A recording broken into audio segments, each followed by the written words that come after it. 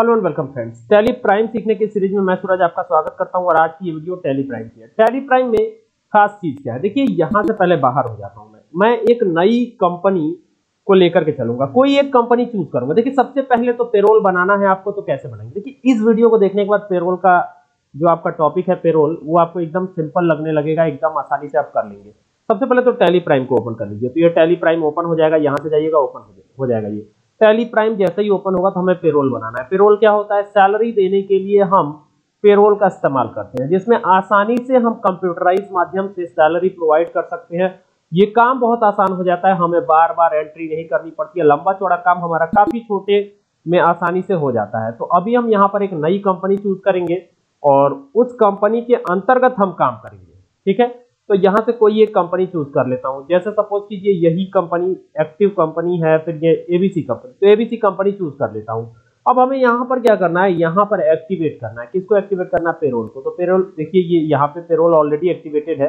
अगर आपका नहीं एक्टिवेट हो तो इस पर जाइएगा और एम्प्लॉय ग्रुप पे क्लिक क्लिक कर दीजिएगा तो ये एक्टिवेट हो जाएगा। अब यहाँ से बाहर आ जाइए। वी प्रेस कर लेते हैं बाउचर में आने के लिए। बाउचर में आकर के क्या करना है? सीधे आना है हमें कहा?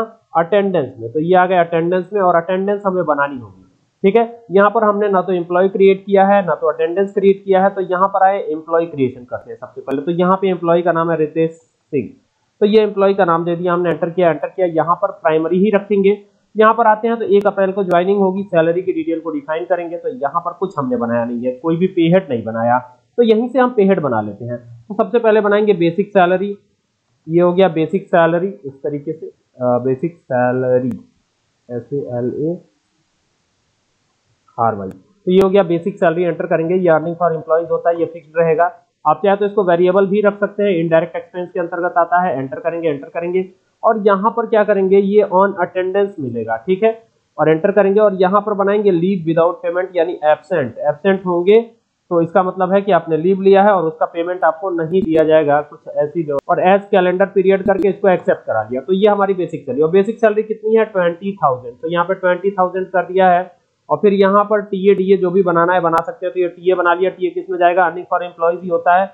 एंटर करेंगे। वेरिएबल दे सकते हैं। फ़िलहाल मैं फिक्स रखता हूँ और यहाँ पर आ जाते हैं। इंडायरेक्ट एक्सपेंस में से डाल देते हैं। एंटर करते हैं। एंटर करते हैं और एंटर करके यहाँ पे आ जाते हैं। और ये जो है ना एज कंप्यूटेड वैल्यू कर देते हैं। और यहाँ पर आते हैं, यहाँ पे आते हैं। इसको हम देखेंगे ना तो इसको बेसिक सैलरी के आधार पर। और ये भी earning for employees current earning total जो दिया हुआ है तो इसको हम ऑन स्पेसिफाइड फॉर्मूला रखेंगे। बेसिक सैलरी अगर है, कितनी? टेन थाउज़ेंड यहाँ पे देखिएगा टेन थाउज़ेंड दे रहा हूँ तो एक परसेंट का परसेंटेज करेंगे। यहाँ पे परसेंटेज कुल मिला के सेलेक्ट करना है। यहाँ पे आए, यहाँ पे परसेंटेज सेलेक्ट किया।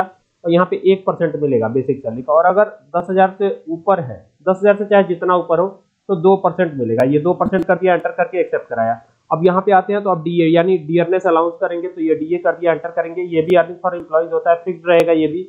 और यहाँ से इनडायरेक्ट एक्सपेंस करके आगे बढ़ेंगे आगे बढ़ेंगे आगे बढ़ेंगे। और ये क्या करेंगे? यहाँ से कर देंगे ऑन कंप्यूटेड वैल्यू तो ये ऑन कंप्यूटेड वैल्यू कर दिया नॉर्मल राउंडिंग करके आगे बढ़ेंगे। और ये क्या करेंगे? ऑन स्पेसिफाइड फॉर्मूला कर देंगे। फिर आएँगे यहाँ पे बेसिक सैलरी का। कितना परसेंट तो 1.5 परसेंट जो है यहाँ पे अमाउंट डाल देंगे दस हज़ार। ये दस हज़ार डाल दिया है। कर दिया थ्री परसेंट और दस हज़ार से चाहे जितना ऊपर हो, उस पर फोर परसेंट का मिलेगा। तो ये दे दिया और इसको एक्सेप्ट करा लिया। और भी कुछ देना चाहे तो दे सकते हैं। जैसे पीएफ कटता है तो पीएफ यानी प्रोविडेंट फंड को लेकर के दे सकते हैं। आप यहाँ पे दे दिया। और ये क्या होता है? डिडक्शन फ्रॉम एम्प्लॉयज़ होता है। ठीक है? और ये क्या होता है? ये होता है करंट लाइबिलिटीज में से डालते हैं हम करंट लाइबिलिटीज क्योंकि ये रिटर्न भी हमें मिल जाता है तो इसे करंट लाइबिलिटी में डाल करके और एज कंप्यूटेड वैल्यू कर सकते हैं, ठीक है? तो यहाँ पर जा करके एंटर करेंगे और ये क्या होता है? ये इसे हम देंगे लाइक ऑन स्पेसिफाइड फॉर्मूला करेंगे, ठीक है?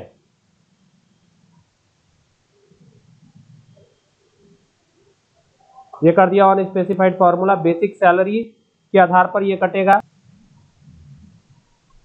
करेंट अर्निंग टोटल के हिसाब से ये कटेगा।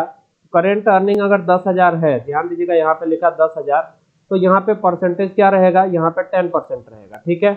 और अगर करेंट अर्निंग दस हज़ार से ज़्यादा है, चाहे जितना भी ज़्यादा हो तो ये रहेगा फिफ्टीन परसेंट तो ये कर दिया हमने इस तरीके से और इसको एक्सेप्ट करा लिया। अब ये एक तरह का हमारा तैयार हो गया। यहाँ पे इम्प्लॉय का जो नंबर है, वो आएगा डेजिग्नेशन आएगा।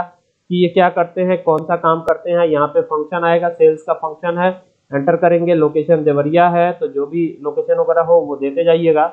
और इसके बाद फिर एंटर करके नीचे आइए, फिर जेंडर इनका दे दीजिए तो मेल जेंडर है ब्लड ग्रुप वगैरह मदर्स नेम वगैरह सब देते जाइएगा।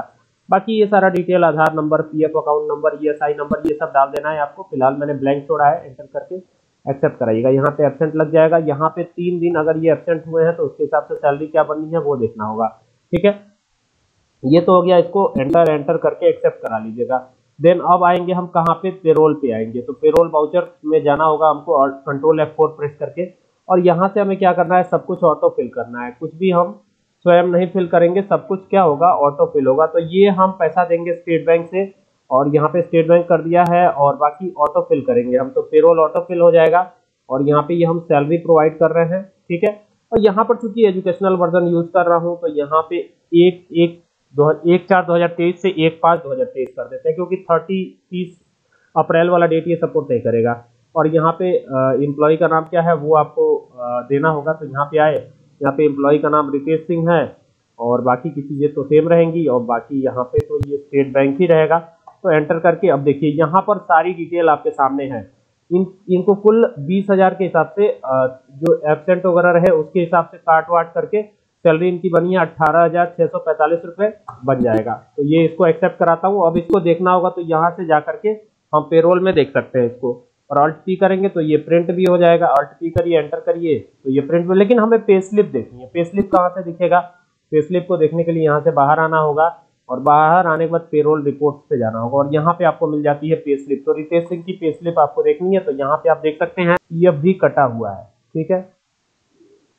तो पीएफ डिडक्शन दो हज़ार नौ सौ उनतीस रुपए दस पैसे हुआ है।